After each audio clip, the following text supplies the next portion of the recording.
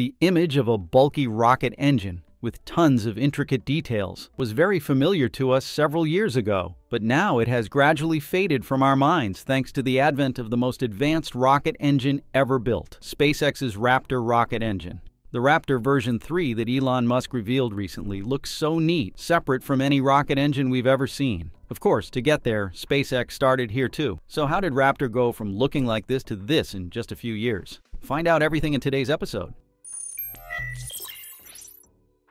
While developing SpaceX's Raptor rocket engine, Elon Musk and his team faced several challenges. One of the main challenges was simplifying the complex features that other rocket engines had. They had to pioneer new technology, master a full-flow staged combustion cycle, and redesign all inherent components of the engine. This was a significant shift from the existing technology and required extensive research and development. Additionally, they had to ensure that the Raptor wasn't only simplified, but also possessed superior power. This required a high level of innovation and creativity. And now SpaceX has done the seemingly impossible. In August, SpaceX CEO Elon Musk stirred up the space community with a photo of Raptor 3 that looks so neat. This is in stark contrast to the Christmas tree look of the previous two versions, version 1 and 2. As Everyday Astronaut puts it, this is absolutely absurd engineering to simplify an engine down like this. What looks simple on the outside only makes for more complexity on the inside, so this must be a masterpiece. Indeed, to develop a simple system, the SpaceX team has spent a ton of time researching, developing, and testing state-of-the-art technologies that have not been done before. Elon Musk confirmed that in his tweet, the amount of work required to simplify the Raptor engine, internalize secondary flow paths, and add regenerative cooling for exposed components was staggering. The latest iteration of the Raptor engine, referred to as Raptor 3, has undergone extensive part consolidation. This means that many previously separate components have been integrated into fewer, more complex parts. Take for example in the transition from Raptor 1 to 2, engineers removed a large amount of plumbing and sensors. Many valves were combined into valve plates, helping further simplify plumbing. In the case of Raptor 3, the heat shield is the part that should be removed in the first place to save the potential mass. Yeah, the next gen Raptor engine needs no heat shield. Right.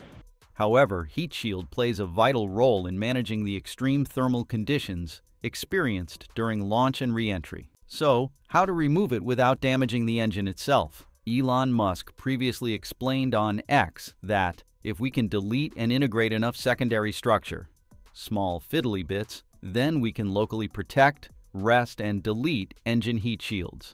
In detail, everything is regeneratively cooled, he said. Elon Musk mentioned this during a part of Everyday Astronaut's Starbase tour. Clearly, with the heat shield removed, the Raptor will be exposed, so it has to have cooling. And because it's exposed, it has to have cooling. So there's integral cooling circuits throughout the all the parts. So it looks very simple on the outside, but it's complicated on the inside. Like even all throughout the like the pre-burner and the yeah. gas manifolds and everything, it's It- it- all all that stuff you see stuck on the side disappears. wow. And of course, the heat shield isn't the only part that's been removed. Um, and we also eliminate a whole bunch of um, bolted and welded joints. Uh, So, especially the bolted joints, you really want to get rid of those. Yeah. Such simplification is aimed at reducing manufacturing complexity and improving reliability while maintaining or enhancing performance. So, how do we simplify the structure while still increasing performance? You know, with 280 tons of thrust, V3's thrust to weight ratio is improved compared to previous versions. The key to this lies in the pressure inside the combustion chamber. Raptor 3 chamber wall might have the highest heat flux of anything ever made, Musk said. As the pressure within the combustion chamber rises, the propellants, fuel, and oxidizer are forced to combust more efficiently. This leads to a higher temperature and pressure, which enhances the energy released during combustion. According to Newton's third law of motion, for every action, there is an equal and opposite reaction. When the exhaust gases are expelled at high velocity, they create a reaction force that pushes the rocket in the opposite direction. This enhanced thrust enables rockets to carry heavier payloads, achieve higher velocities, and undertake more ambitious space missions. A higher chamber pressure leads to a greater thrust output, enabling a higher thrust to weight ratio. This ratio is crucial as it signifies the amount of force the engine can produce in relation to its own weight. A higher thrust to weight ratio empowers the rocket to carry heavier payloads or achieve enhanced acceleration, thereby expanding the range of missions it can undertake. Furthermore, the importance of chamber pressure extends to the design flexibility of rocket engines. Higher pressures offer engineers the ability to achieve desired performance characteristics while maintaining compact and lightweight engine designs. This flexibility is crucial in enabling the development of advanced launch vehicles, like Starship capable of fulfilling various mission requirements including crewed missions, deep space exploration, and satellite deployments. Another secret behind Raptor 3 is internalizing secondary flow paths, which involves redesigning how propellants and gases move within the engine. This can lead to improved efficiency and performance by optimizing how fuel and oxidizer are mixed and burned. However, it also adds complexity to the design and manufacturing processes, because precise engineering is required to ensure that these internal pathways function correctly under extreme conditions. In conclusion, part consolidation, weight reduction, and the ability to design complex internal structures are those that make Raptor 3 stand out from the crowd. However, it wouldn't be possible for SpaceX to bring that to reality without the support of 3D printing technologies. And fortunately, SpaceX is home to some of the world's most advanced 3D metal printing technology. A further comment from Steve Jurvetson, an early VC investor in SpaceX, suggests that the latest Raptor has been made possible with additive manufacturing, AM, sharing that additive manufacturing internally integrates so many formerly discrete components. Additive manufacturing, also known as 3D printing, is a computer-controlled process that creates three-dimensional objects by adding material in layers. It's used in many industries, including aerospace, automotive, and medical.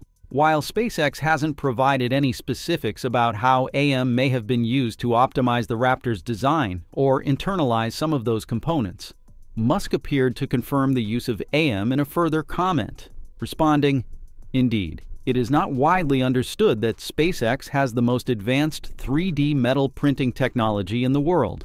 Additive manufacturing has several advantages over traditional manufacturing. First, it can create bespoke parts with complex geometries that are difficult to make with traditional methods. It generates less material waste and also reduces lead times. It allows users to customize, repair, or create unique objects.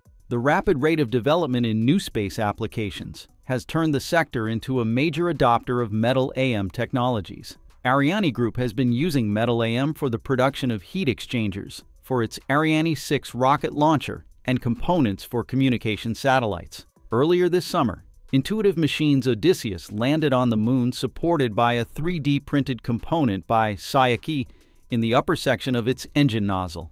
And back in March, Ursa Major successfully launched its Hadley engine, which can be built in a matter of days due to its reliance on AM. Clearly, upgrading Raptor 3 offers many benefits, such as saving manufacturing time and expenditure. As you can see, the production of a Raptor 1 engine initially took SpaceX around 11 days, whereas for the optimized Raptor 2, that time was reduced to just two days, and eventually to a remarkable one day per engine. This significant improvement underscores the advantages of simplification in design. For Raptor 3, production rates could potentially reach dozens of engines per day, a rate typically associated with manufacturing industries, not the rocket industry. This capability will be crucial to meeting future launch demands as SpaceX aims to build and fly vast numbers of Starships annually. Given the reduction of manufacture time, the cost per Raptor 2 engine has also dropped to an astonishingly low figure, between $1 and $2 million. When scaled for mass production, this cost could decrease to as little as $200,000 per engine. The simplicity of the Raptor 3 also promises to drive costs down to unprecedented levels, though it's difficult to predict just how low these costs will go once mass production begins. Additionally, the simple design of Raptor 3 contributes to making Elon's goal come true. Turning around the Super Heavy booster within an hour and launch the Starship daily. It has a point. The rocket engine's simple design reduces maintenance time between flights, thus also decreases the vehicle's turnaround time. In summary, with the amazing features of the Raptor 3 rocket engine, the future is going to be fantastic. And that just about wraps it up for today's episode. Thank you, and we look forward to seeing you next time.